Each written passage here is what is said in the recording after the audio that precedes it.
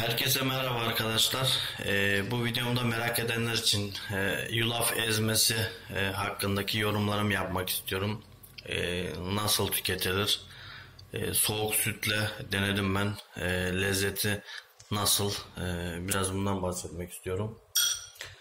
E, tüketiş şekli olarak arkasında soğuk sütle de e, tüketilebileceği yazıyor ama ben e, açıkçası tadını pek e, lezzet olarak iyi bulmadım. Soğuk sütle yani e, iyi diyemem.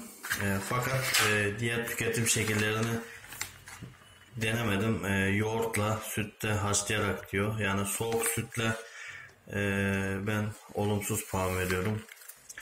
Yoğurtla denemedim. Sütle haşlayarak da denemedim. E, bunları da e, de- denediğimde tekrar video çekmeye çalışacağım arkadaşlar.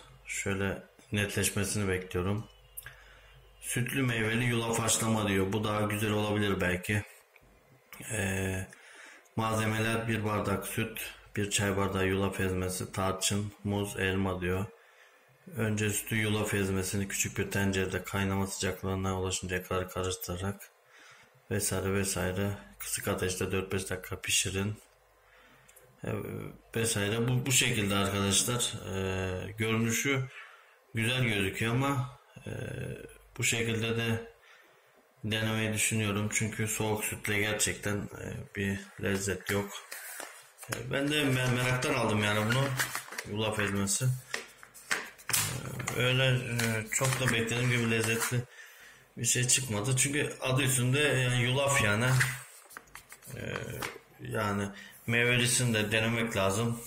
Ee, diğer seçenekleri deneyebilirsiniz. Ee, ama ben soğuk sütte gerçekten bir lezzet tat alamadım. Ee, farklı ar- aromalar olsun, şeyler olsun ee, deneyebilirim. İlerleyen zamanlarda belki lezzeti daha farklı olabilir. Bu şekilde merak edenler için bu videoyu çektim faydaları gerçekten çok fazla olduğu söyleniyor.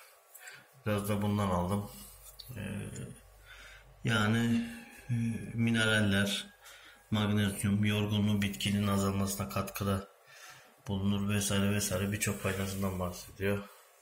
Bu şekilde arkadaşlar. Ee, videoyu beğendiyseniz beğen butonuna basabilir. Dilerseniz kanalımıza abone olabilirsiniz. Hoşçakalın arkadaşlar.